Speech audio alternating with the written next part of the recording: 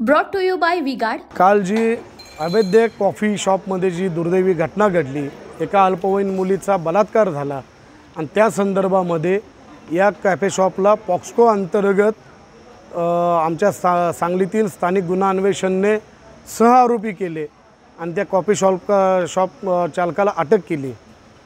पण ह्या कॉफी शॉपला पाठीशी घालणारे जे अधिकारी आहेत या अधिकाऱ्यांच्यावरतीसुद्धा कडक कारवाई व्हायला पाहिजे.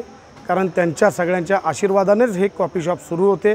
वारंवार सांगली शहरचे आत्ताचे पोलीस निरीक्षक संजीव मोरे साहेब विश्रामबाग पोलीस स्टेशनचे पोलीस निरीक्षक ईश्वर ओमासे साहेब यांना ही माहिती असूनसुद्धा यांना माहिती देऊनसुद्धा त्यांनी कुठलीही कारवाई आत्तापर्यंत केलेली नाही. आणि त्यांच्या या नाकर्तेपणामुळे सांगली शहरामध्ये दोन मुलींचा निष्पाप मुलींचा बळी या ठिकाणी गेलेला आहे. भाइयों बहनों उनके राज में पावर रहे अनस्टेबल और हम रखे सब स्मूथ और स्टेबल हमारा नेता कैसा हो? जो स्टेबल पावर दे वैसा हो। अब की बार वी गार्ड एसी स्टेबलाइजर का चमत्कार।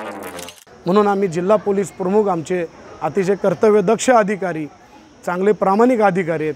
त्यांच्याकडे आपल्या माध्यमातून आता मागणी करतो आहे आणि त्याचबरोबर लवकरच त्यांना भेटून आम्ही निवेदनसुद्धा देणार आहोत की हे दोन हे तीन अधिकारी आणि त्याचबरोबर या सांगली शहर पोलीस स्टेशन आणि विश्रामबाग पोलीस स्टेशनचं कलेक्शन करणारे अवैध व्यावसायिकडून हप्ता गोळा करणारे प्रशांत माळी आणि गौतम कांबळे यांचीसुद्धा चौकशी करावी. त्यांचे कॉल डिटेल्स चेक करावे त्यांचे सी डी आर चेक करावे. कॉफी शॉप मालक चालक यांच्याशी असणारे त्यांचे संबंध त्या ठिकाणी असणारे C C T T V footage check करावेत. आणि या दोघांची चौकशी करून हे तीन अधिकारी आणि दोन कर्मचारी यांच्यावरती जिल्हा पोलीस प्रमुखांनी कडक कारवाई करावी ही आम्ही मागणी आपल्याकडे करतो. आज आपल्या माध्यमातून त्यांच्याकडे करतो.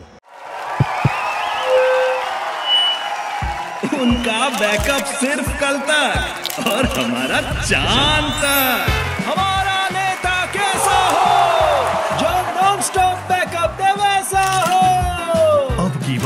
वी गार्ड इन्वर्टर बैटरी का चमत्कार. ही जर मागणी मान्य नाही झाली तर लवकरच सांगलीमधील हजारो विद्यार्थी विद्यार्थिनींचे पालक सांगलीमधील असणारे अनेक पक्ष संघटना यांचे नेतृत्व प्रमुख या सगळ्यांना घेऊन सांगलीमध्ये श्रीमंत छत्रपती श्री उदयन महाराज यांच्या नेतृत्वाखाली आम्ही लवकरच भव्य असा मोठा मोर्चा या ठिकाणी आम्ही काढू.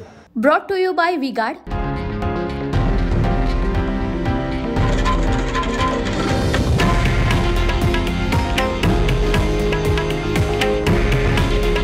हे आहे देशातील नंबर वन न्यूज नेटवर्क. आणि आपण पाहत आहात टी व्ही नाईन मराठी. काळजी तुमची हित महाराष्ट्राचं.